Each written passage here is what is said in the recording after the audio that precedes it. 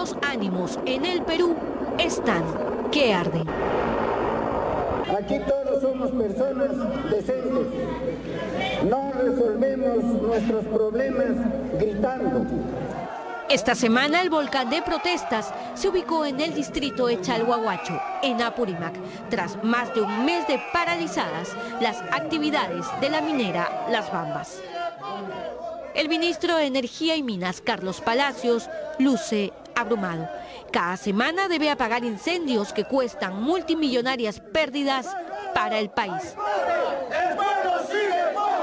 Dirigentes y comuneros gritan estar cansados de mentiras. Mentiras que parecen forjarse desde los mismos escritorios de uno de los ministerios más importantes del Perú. Ingeniero Flores, por favor, estamos en la puerta del ministerio. Usted me acaba de colgar el teléfono y queremos saber, por favor, según usted, qué tiempo trabajó para esa empresa. La empresa dice que no trabajó el tiempo que usted ha consignado en sus certificados. Dentro del Ministerio de Energía y Minas se niega a recibirnos el actual director de Minas, el ingeniero Melvin Flores. Tenemos dos días intentando conversar con él. Hemos obtenido la confirmación de que asumió el altísimo cargo con información no real, falsa respecto a su experiencia laboral. Pero él no cierra las puertas. Ingeniero Flores. Sí, buenas. ¿Qué tal, ingeniero? Soy Carla Ramírez de Cuarto Poder.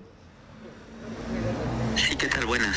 ¿Qué tal? Ingeniero, lo llamamos porque queremos saber por qué la información de los certificados que usted entregó para su nombramiento no, son, no tienen las fechas reales.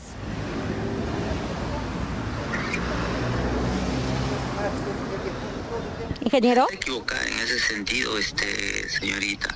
¿Cuál es el error? Averigüe bien con las empresas. En este aparente movimiento de fichas, averiguamos y encontramos más de lo esperado. Entra a tallar Loli Herrera, exabogado de la madre de Vladimir Cerrón y actual secretario general del ministerio. El 8 de abril pasado, Loli Herrera solicitó se disponga la evaluación del cumplimiento de perfil del señor Melvin Flores Vilca como director general de minería. Para tremenda responsabilidad, Melvin Flores debía tener como mínimo dos años acumulables como jefe o director o nivel equivalente, gerente, por ejemplo. Melvin Flores entonces presentó estos dos certificados de la empresa HIP Contratistas Mineros que, como gerente, le permitieron cumplir los requisitos mínimos. Este certificado señala que trabajó como gerente de operaciones en el proyecto Esperanza de Minera Croacia desde el 1 de marzo del 2020 hasta el 2 de abril del 2021, es decir, un año y un mes.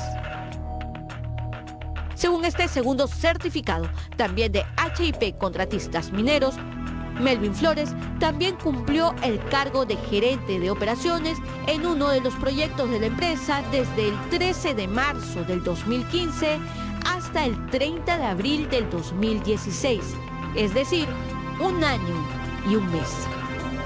Con ambos certificados, el ingeniero Flores logró sumar dos años y dos meses de experiencia para el cargo y en cuestión de horas, el mismo 8 de abril, estaba lista su designación como director general de la Dirección General de Minería, firmada por el ministro Carlos Palacios.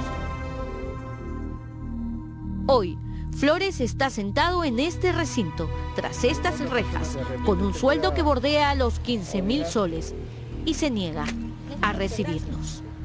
Por favor, ingeniero, si nos puede recibir, si nos puede aclarar, porque si es que la información que la empresa ha brindado es real, usted está en un cargo para el cual lamentablemente no está calificado, pero además queremos saber cómo así usted muestra un certificado con fechas falsas, lamentablemente. Por favor, queremos sus descargos. Gracias. En este ministerio, la bomba estalló el 9 de mayo cuando la gerencia de HIP Contratistas Mineros respondió con la dura verdad. Sus certificados son originales, pero las fechas no se condicen con la realidad. La realidad que Melvin Flores acaso olvidó es que trabajó mucho menos tiempo del que muestra sus certificados. HIP informó al ministerio que Flores laboró como gerente entre el 24 de septiembre y el 31 de octubre del 2020, es decir, solo un mes y una semana. Y también en otro proyecto entre el 26 de marzo y el 19 de diciembre del 2015, es decir, 8 meses y 24 días. Ambos trabajos suman un total de 10 meses y no los dos años mínimos de cargo directivo que se exige para asumir el puesto de director. La empresa dice que la información que usted consigna, que usted presenta, no son reales, señor Flores. Como le he vuelto a mencionar, con que coordine con la empresa. La empresa, si es que menciona que no son reales. Así es, la empresa menciona que no son reales. Bueno, no, no, no, les, no les sabría decir, señorita. Disculpe, ¿usted cuánto, eh, qué años trabajó para esta empresa según usted? ¿Cuánto tiempo? Por favor. Cortó.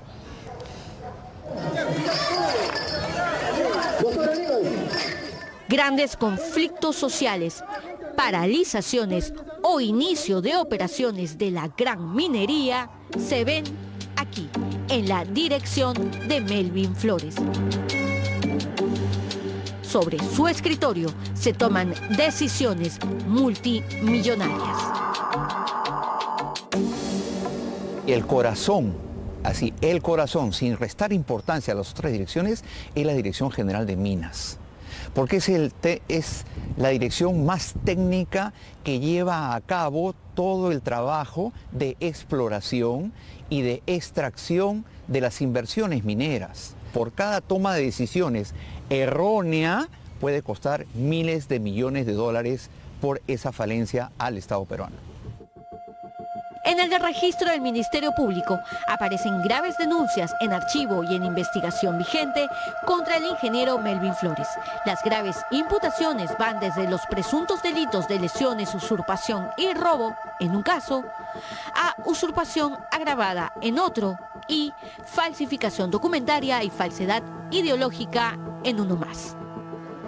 Varias de las denuncias contra el ingeniero Flores nacieron aquí, en el mercado modelo de Huancayo, donde el ingeniero fue presidente de la Asociación de Comerciantes. En las denuncias policiales, los afectados hablan de usurpación, hurtos y daños en sus puestos de venta. Melvin Flores se rehúsa a darnos la cara y explicarlo. Por favor, disculpe si le podría indicar al director Melvin Flores, director de Mina, que lo estamos esperando en la puerta, por favor. Melvin Flores. Ajá, director de Minas. Gracias. Solo por WhatsApp, el ingeniero nos ha dicho que no nos recibirá porque con falacias maltrataremos su honor, que esperará para pronunciarse y que ya no se confía en la prensa vendida. A pesar de que un documento de la misma minera lo desmiente, insistió en que las fechas de sus certificados sí son reales. Pero Cuarto Poder también ha confirmado que Melvin Flores no consigna en la página del ministerio los datos de su declaración jurada de intereses. Aquí no se ha registrado ninguna información. La ley señala que él debe haber presentado una declaración jurada de intereses y además una declaración jurada donde señala cuál ha sido su trayectoria profesional y en dónde ha laborado. Si él no ha presentado es porque seguro tiene conocimiento de que lo que él ha declarado no es correcto o lo que tiene por declarar. Estudiado el caso, el abogado penalista César Candela descubrió un detalle más del que no nos habíamos percatado. Mira esto, Mira esto y mira esto. Esto prueba la informalidad, mira. La resolución de nombramiento del ingeniero Melvin Flores solo tiene un sello y la firma del ministro Palacios. Lo regular es que nombramientos de este nivel tengan el visado mínimo del secretario general y otras oficinas, dando fe de que es totalmente legal.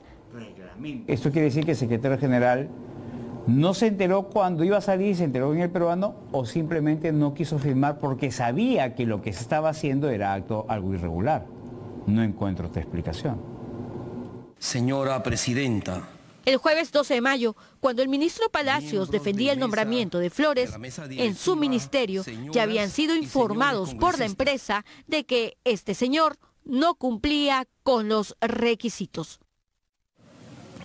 El señor Melvin Never Flores Vilca es ingeniero de minas de profesión. Las calificaciones técnicas y la experiencia laboral fueron evaluadas y calificadas de acuerdo a ley. ¿No sabía el ministro o nadie se lo dijo?